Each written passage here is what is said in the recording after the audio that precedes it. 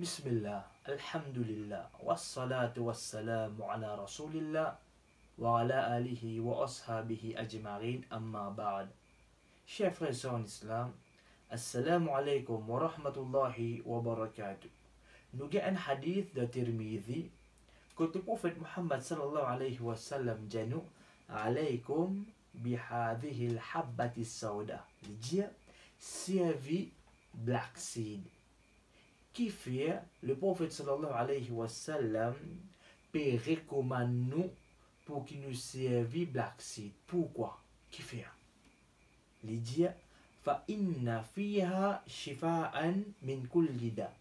Car certainement dedans veut dire dans Black Seed là, il y a guérison pour tout ban maladie. Tout ban maladie. Il dit nous, il le semble excepté la mort.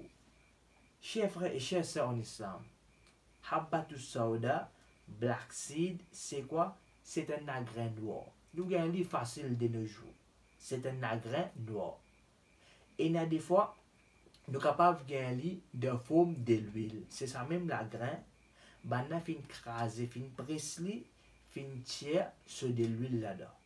Moi, moi, moi, si je connais une personne, mon toussé, pour telle telle maladie, Moun apran ki le profet sallallahu alayhi wa sallam fin djamwa ki de blaksid e na gerizon pou tou maladi pou la pemisyon Allah.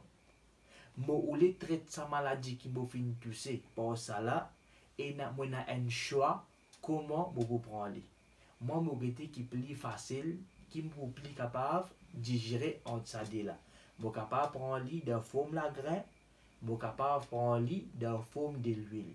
Nous redire mo capable prendre lit de forme la grain mo capable prendre lit de forme de l'huile mo capable mettre un petit peu d'huile là-dedans un petit peu limon là-dedans pas aucun problème frères et sœurs en islam, pas oublier avant qu'ils nous consomment black et toute la nourriture qui est halal, nous faire bismillah avant qu'ils nous prennent lit. Et qui nous besoin faire, nous mettre nos confiance dans Allah wa ala nous mettre nous tawakkul, nous dépendance totale, le Allahu Jalla wa ala.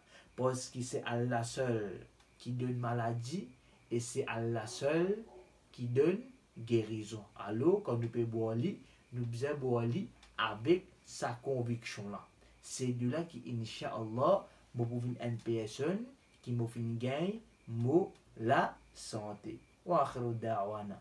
Anilhamdulillahi rabbil alamin. Wa jazakumullahu khairan.